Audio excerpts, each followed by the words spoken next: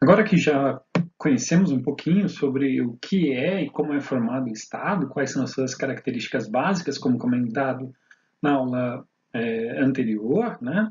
É, vamos entender um pouquinho mais sobre o poder local e o federalismo no Brasil contemporâneo. Né? O que, que, isso significa? É, vai refletindo, na verdade, como que é a organização do Estado e a formação é, do convívio em sociedade, né? para que a gente possa entender quais são os itens importantes aos cidadãos, por exemplo, como a Constituição Federal, que a gente já comentou lá atrás, é, a própria formação do Estado moderno e as características da administração. Isso ocorre porque um país, um Estado, um município, ele possui ou desenvolve algumas características que identificam a maneira dele atuar em sociedade. Né?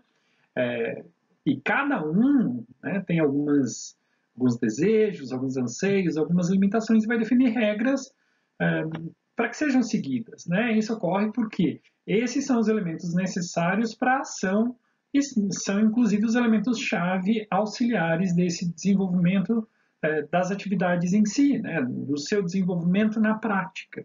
É disso que trata esse capítulo. É, vale lembrar, né, como a gente comentou também na, na, na aula anterior, é que a República Federativa do Brasil, né, e a atual formação do Estado brasileiro, ele veio com a formação da República, lá em 15 de novembro de 1889, né, e disso a gente tem é, do que é formado o Estado, a, a República Federativa do Brasil. Né? É, ela é formada então pela União, é, inseparável, insolúvel dos estados, municípios e do Distrito Federal. Né? É, constitui-se como um, um, Estado democrático de direito e tem como alguns fundamentos. Quais seriam os fundamentos? Né? É, o Estado é soberano, há uma, uma soberania na sociedade. Né? Essa soberania é, é, quem comanda e que coordena tudo aquilo que vai acontecer. Além disso, né, existe a cidadania, existe a dignidade da pessoa humana, os valores do trabalho e da livre iniciativa e o pluralismo político. Né? Esses são alguns dos princípios fundamentais que regem a, a nossa Constituição Federal né? e regem esses aspectos. Por quê? Né? O Estado, enquanto soberano, ele é formado de cidadãos que, e precisa respeitar essa cidadania, essa dignidade da pessoa humana, os seus valores. Né? A gente precisa respeitar as diferenças ou o pluralismo político que ocorre né? Tudo isso já está pautado lá na nossa Constituição Federal. Né? Só lembrando que a Constituição é aquele documento que rege e delimita o Estado Democrático Brasileiro. Né? É por meio dela que a gente tem os mais distintos aspectos é, e âmbitos que afetam a vida da gente. Né? E, e, e, é ela quem assegura alguns dos direitos e deveres que a gente possui. Né? é um documento público e está disponível para consulta de qualquer cidadão. Eu deixei o link na nossa, no nosso e-book, né, um link de acesso à, à, à Constituição Federal. Dentre esses aspectos, né, lá no artigo 3 da Constituição, ele argumenta que a gente pode, né, ou é permitido construir uma sociedade livre, justa e solidária. É, porque é, a partir do momento que a gente é livre, a gente tende a fazer aquilo que, que seja bom para todos, né? Garantir o desenvolvimento nacional, erradicar a pobreza e a marginalização e reduzir as desigualdades sociais e regionais, assim como promover o bem de todos sem preconceitos de origem, raça, sexo, cor, idade e quaisquer outras formas de discriminação. É, todos nós somos iguais perante a lei. E é isso que é importante. O Estado sabe disso e isso já está previsto nos preceitos da Constituição, como nesse artigo 3 aqui. Pois bem, né? é com base nisso tudo que, que significou, na verdade, o surgimento de entes federados autônomos, né? É, que a gente vai falar disso um pouquinho mais para frente, mas que constituem a federação. Né? Então, esses entes federados autônomos são regidos por um governo, por uma legislação e finanças que são centralizadas. Né? São centralizadas na federação, ali, na unidade federativa principal, uma organização política federativa eh, do Brasil, cujo elo principal, cujo elemento central é a União, né? é, regida ou seguida pelos estados. Né? Além dos estados, a gente tem é, o Distrito Federal, né, que é a nossa capital, os municípios, que são todos autônomos, né, nos termos da Constituição Federal. É, a União, então, ela possui o conjunto de poderes de toda a nação. Né? Não à toa, ele é o nosso ente, ente principal, né? É, e é ele quem determina a federação em si. Né? Federação, então, ele é o sinônimo de associação de partes. Notem, a gente é dividido por unidades da federação, né, que são os estados, os estados que possuem as suas capitais, e, e logo abaixo deles tem os municípios, né, os municípios que, que complementam é, isso tudo. Né? Então, vale ressaltar aqui ó, que a federação é sinônimo de associação entre partes, diz a história que a federação foi instituída no Brasil pelo decreto número 1 de 15 de novembro de 1889, que implantou provisoriamente a proclamação da República. Né? É, vale ressaltar que é, a União é o conjunto de poderes da nação brasileira. Né? E a federação no Brasil significa tanto a união dos estados como a sua própria autonomia. Né? Assim se diz que a defesa da federação é, ela ocorre entendendo que a conservação do todo, a preservação da autonomia das partes, é que é fator primordial. E é disso que é constituído o federalismo. Né? Então, ele vai pressupor é, dupla soberania, né? que a gente tem os governos né? com, com poder de autogoverno e a gente tem o poder nacional, a União, o governo federal, que representa o país. Isso é subdividido né? entre um ente maior, que é a União, e os entes menores, todos autônomos, que representam os estados em si. Assim, então, é formado o Estado moderno, que é o resultado de uma evolução histórica com dois elementos característicos atuais. O primeiro deles, qual que é? A autonomia. Né? A autonomia na qual se verifica a plena soberania do Estado e que não permite que a sua autoridade dependa de qualquer outra autoridade. E o segundo é que o Estado se torna uma organização distinta da sociedade civil, embora seja a expressão dela. Né? O que, que isso quer dizer? O Estado é um ente autônomo, né? É, que utiliza, ou ele é organizado por meios de instrumentos é, como a burocracia administrativa, como a força limitar, como leis, como um sistema tributário, como o idioma nacional, é, que o representa. Né? E a autoridade ela é única, é, tendo em vista que a organização do governo ela também é única. Né? O governo federal é a autoridade do Estado e as suas decisões né, vão, refletir, vão refletir ou vão é, empenhar em toda a força e a responsabilidade que ele possui. Né? Desse modo, a gente consegue perceber que o Estado ele vai se materializar por meio de, de instituições, né? como aquelas que a gente comentou antes, o Executivo, o Legislativo, o Judiciário, é, e não só, né? também as forças militares, é, administração pública, dentre outros, e, e é nessa administração pública que está a chave das atividades que são realizadas pelo Estado, né, em prol de atender os interesses coletivos, lembrando sempre de seguir aquilo que está na Constituição, ou seja, os preceitos constitucionais. É, vale a pena observar também que a União, os estados e os municípios, inclusive o Distrito Federal, eles são unidades é, ou são entidades estatais de direito público, né, com poderes políticos e também poderes administrativos. É, o que, que, é essa tal entidade? Né? Ele possui uma pessoa jurídica, né, é, que são é, aquelas coisas que determinam a existência é, da entidade em si. Né? É, e isso pode acontecer de, de distintas formas.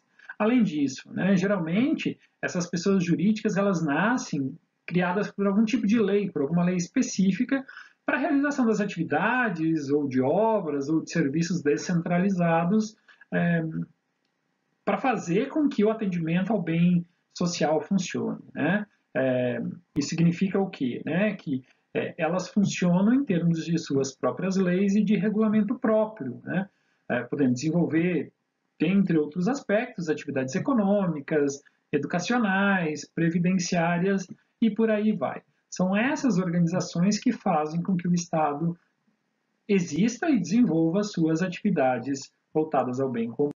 Né?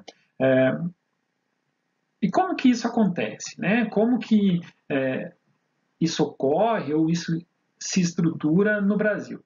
Pois bem, né, o Brasil está estruturado como uma federação brasileira autônoma, dividindo-se em União e Estados. Né? Esses são considerados os entes típicos e também, olha aqui, ó, a gente tem no âmbito maior ah, o âmbito federal, né? E é aqui que se enquadra a União é, e é ela que é responsável por todos os outros todos os outros entes. Né? É, além do, desse federal, a gente se subdivide na instância estadual. Né? Notem, ela, é, ela é responsável por parte de tudo aquilo que acontece no seu âmbito de atuação, né? sempre seguida do, do regimento federal.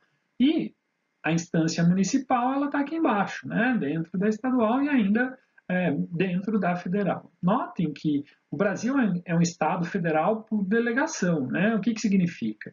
Existe uma ordem jurídica que é única né, e que ela vai transferir é, aquilo que precisa ser transferido é, de cima para baixo, ou seja, né, é, a gente tem uma ordenação jurídica aqui, né, de direito público que vai ter uma, uma, uma função é, de ordem, é, então, tudo aquilo que é determinado pelo governo federal precisa ser seguido é, pelos outros, pelas outras instâncias, por exemplo. A partir do mapa, nós podemos ver como se dá a distribuição nesse caso dos arranjos populacionais do Censo Demográfico de 2010, mas que demonstra como que se dá ao mesmo tempo a organização político-administrativa da República Federativa do Brasil, né? em que nós temos a União, os estados, o Distrito Federal e os municípios. Cada um desses com seus respectivos poderes, né? aqueles que nós comentamos há pouco, que é o legislativo, o executivo e o judiciário. A capital federal ela é a cidade de Brasília, que está aqui, ó, no Distrito Federal. A cidade de Brasília é a capital do nosso país. E a partir disso, a partir do, da, da unidade da federação, do Distrito Federal, que é o nosso é, estado no qual se encontram é, o governo principal, que é o presidente, que são é, os deputados federais e os senadores, nós temos uma estruturação que permite que os estados se organizem e, e regem-se né, pelas constituições e leis que adotarem. Né? É óbvio que sempre seguindo os preceitos da Constituição. O que, que isso significa? Que não importa se os estados são do norte, do nordeste, do centro, do centro-oeste ou do sul. Cada estado, como por exemplo nós aqui no estado do Paraná, que talvez seja a grande maioria de, de vocês, é, nós temos uma constituição estadual. Por quê? Né? Nós temos uma característica e um jeito de viver, algumas prerrogativas estaduais que determinam a forma como cada um de nós age ou como cada, cada atividade deve ser feita aqui na nossa, no nosso Estado. Né? O poder ele é cedido pela nação para os Estados para que eles tenham, ou para que os Estados tenham as justiças próprias. Existem características locais de cada um dos Estados e é por isso que essa autonomia é dada é, em termos de ordenação jurídica e ordenação de poder que ela é cedida entre o governo central para os estados, para que cada um possa reger ou cada um possa estabelecer a sua lei conforme melhor lhe aprouver. É óbvio que se sempre respeitando é, a Constituição Federal. ok? E a forma de atuação do Estado, basicamente, ela se dá por meio da administração direta, né, que é, toda aquela prestação de serviços públicos de, ligados diretamente ao Estado, né, ou aos órgãos referentes ao Poder Federal, Estadual e Municipal, e que, por exemplo, podem ser né, é, desde a Presidência da República, os ministérios é, do governo federal, as secretarias de Estado, dentre outros. Né? É, a gente pode notar aqui ó, que fazem parte da administração direta então, a presidência da República, os ministérios, o conjunto de unidades organizacionais que integram a estrutura administrativa de cada um dos poderes da União, dos estados e dos municípios, abrangendo não só as unidades destituídas de autonomia, mas também os órgãos autônomos e os fundos. Né? É, notem que a administração direta é constituída de todos aqueles ente, entes ligados diretamente a, ao poder central. Né? É, e também, por outro lado, a gente tem a administração indireta, né? que é aquele conjunto de entidades públicas dotadas de personalidade jurídica própria, que podem ser desde autarquias, empresas públicas, sociedades de economia mista e fundações públicas. Né?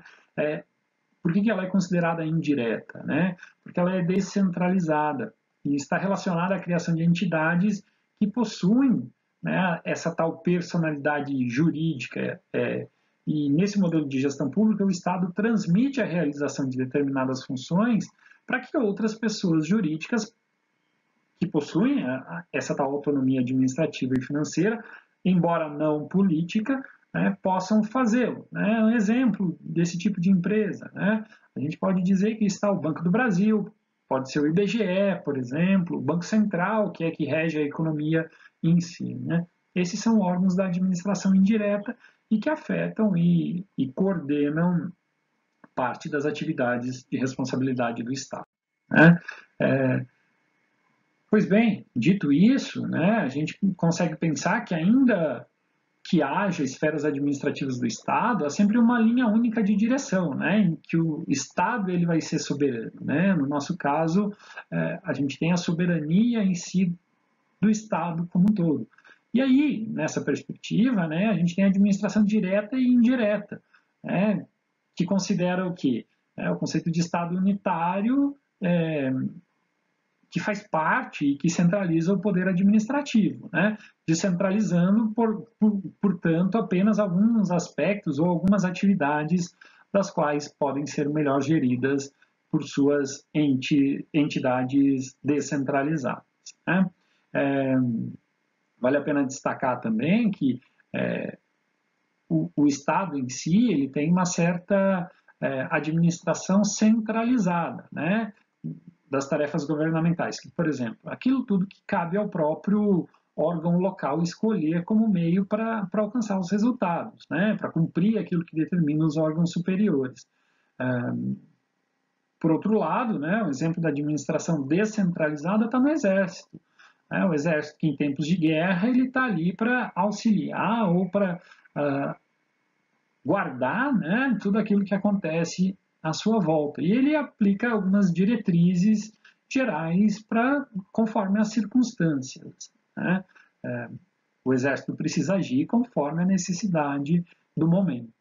É, diante disso, a gente tem que o federalismo ele está aqui para uma coisa muito simples, né? É, ele visa a atividade governamental na qual todos os estados se unem para formar o país. Né? Então, aquilo que, que a gente faz no nosso estado, ele pode ser considerado rico é, por causa do retorno que ele dá, de certa forma, a, a, ao governo central. Né? Nós pagamos os nossos impostos, nós fazemos tudo aquilo que nós devemos fazer para ter é, um serviço minimamente que seja é, bem feito e que retorne para a gente mesmo. Né? É, e aí o Estado é, ele possui uma certa soberania e, e, e, essa soberania que permite que ele atue ou que ele interatue é, dentro de um pacto federativo, ou seja, dentro do acordo constitucional, administrativo e político que respeite a, autonomia e a sua forma de atuação. Né? É, o governo estadual do, do Paraná ele tem uma forma de atuar. Né? Isso é respeitado, isso é previsto em lei, isso é permitido pelos regimentos ou pelas legislações estaduais para que seja formado o poder local. Né? É, e esse poder local, né, seja lá no âmbito do município ou dos estados, ele tem o mesmo patamar hierárquico com os respectivos governantes. Né? Então, uh, o governador do estado do Paraná possui um cargo equivalente ao governador do estado de Santa Catarina, e assim sucessivamente. Né? E todos estão em prol de igualdade né? perante o Estado Maior, que é a União. e respeitam o poder que cada um tem e cada um representa no federalismo que é formado ao longo dos anos. Né? A gente vive essa sociedade democrática atual, não é à toa. Né? A gente tem uma evolução histórica que permitiu que o Brasil chegasse aonde está. É, por isso, né, a função do Estado no mundo contemporâneo ela vai consistir em alguns aspectos como ampliar oportunidades individuais, é, ampliar oportunidades institucionais e regionais, no intuito de facilitar a utilização de novas tecnologias, por exemplo, de inovações do setor público, né, para que, no fim das contas, a gente consiga atender a demanda da sociedade. Uma vez que isso ocorra, né, lá no fim das contas, a gente vai ter serviços públicos com maior qualidade, sendo mais eficazes, e assim por diante. Né? É, fazendo isso, os estados demonstram a sua forma de atuar e a sua forma de interagir no meio ou no pacto federativo. Né? É, e esse destaque que eles podem ter, que o Estado pode ter nos seus interesses locais, consequentemente, ele pode ser complementar à legislação federal, né? pode promover o ordenamento das atividades e convívio social entre todos os munícipes, por exemplo. Né? É, o detalhamento desses aspectos, ou a forma como isso pode acontecer, a gente vai ver na, na próxima unidade, né, chamada Pacto Federativo, no é, que é o município no, no sistema político brasileiro. É, lembrando que, com essa breve introdução que conversamos agora, mais aquilo que foi exposto no, na introdução do e-book, é, já facilita ou já faculta que vocês possam realizar a primeira atividade proposta no autoestudo. Né? Dêem uma olhadinha na atividade, tem um vídeo explicativo sobre ela né? e é o fórum de colaboração. Vejam, analisem e interatuem. Isso vai ser muito importante para todos no desenvolvimento dos estudos. Ok? Um abraço, até a próxima unidade.